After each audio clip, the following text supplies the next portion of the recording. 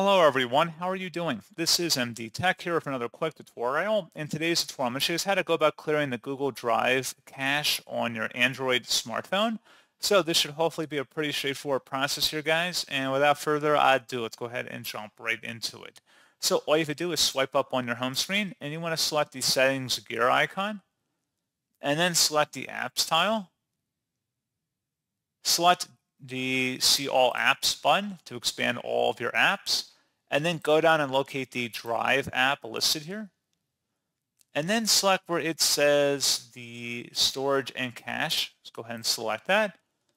If you want to clear the cache, select Clear Cache, and that's what you have to do. So pretty straightforward process on that, guys. And as always, thank you for watching. I do hope that I was able to help you out, and I do look forward to catching you all in the next tutorial.